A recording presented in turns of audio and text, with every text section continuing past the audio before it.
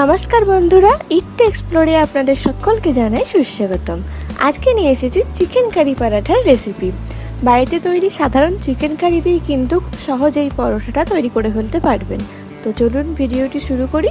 ভিডিওটি প্রথম থেকে শেষ পর্যন্ত অবশ্যই দেখবেন। তার সাথে আমাদের চ্যানেলটিকে সাবস্ক্রাইব করুন এবং লাইক শেয়ার কমেন্ট করতে ভুলবেন না।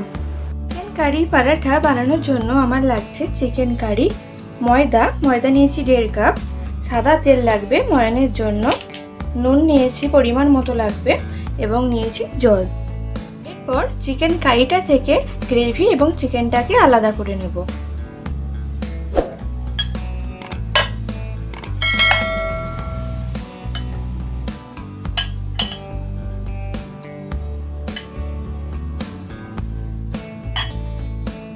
চিকেন এবং গ্রেভিটা আলাদা করে নিয়েছি।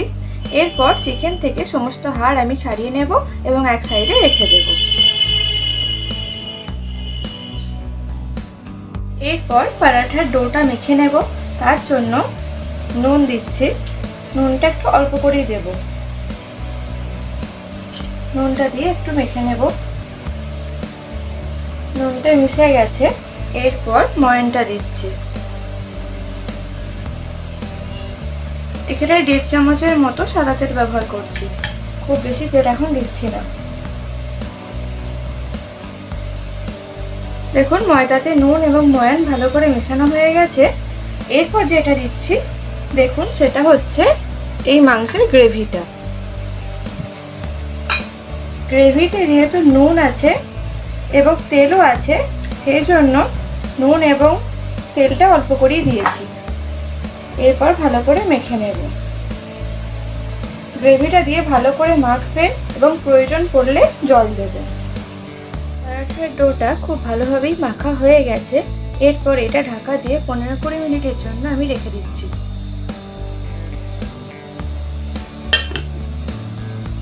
কুড়ি মিনিট হয়ে গেছে, এরপর ডোটা দেখে নেব এবং লেচি বানিয়ে নেব।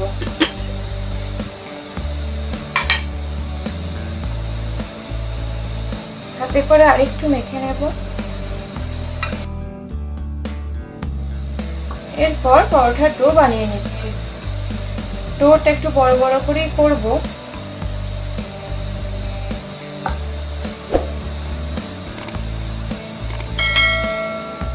পরাঠার ডোটা থেকে চারটে লেচি কেটে নিয়েছি। লেচিগুলো বেশ বড় বড় করেই কেটেছি।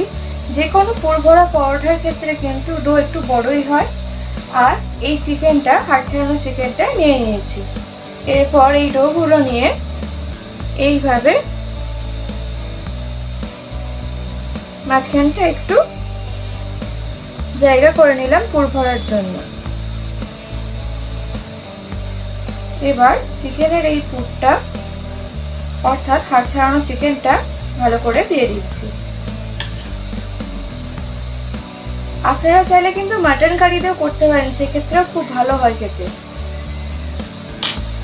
এরপর ভালো করে মুখটা বন্ধ করে নিচ্ছি।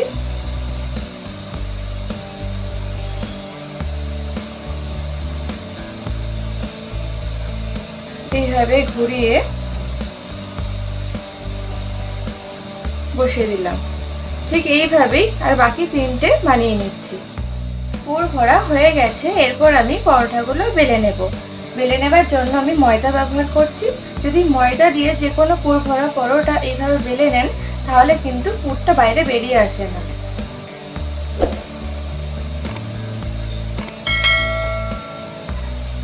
যে দিকটা মুড়েছি সেদিকটা নিচে থাকবে। ময়দা নিলাম। তারপরে একটু ময়দা দিচ্ছি। হাতে করে ভালো করে চাড়িয়ে নেব। এরপর আস্তে আস্তে বেলে নেব।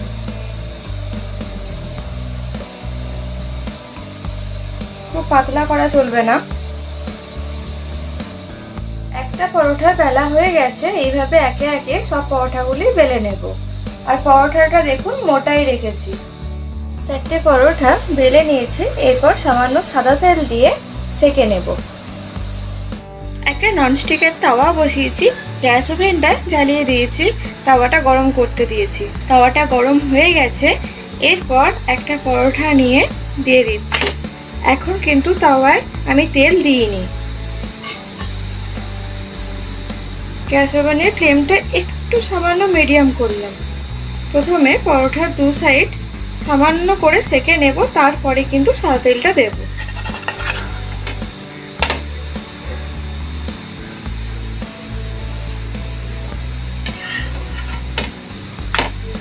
এরপর সাদা তেলটা দিচ্ছি।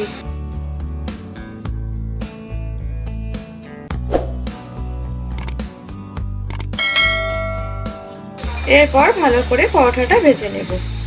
পরোটাটা হয়ে গেছে। এরপর তুলে নিচ্ছি।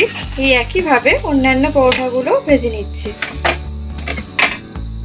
কারি পরাঠা একদম রেডি আপনারাও বাড়িতে ঠিক এইভাবেই বানান। আশা করি আপনাদের ভালো লাগবে। আর ভালো লাগলে আমাদের চ্যানেলটি সাবস্ক্রাইব করুন এবং তার সাথে লাইক কমেন্ট করতে ভুলবেন না।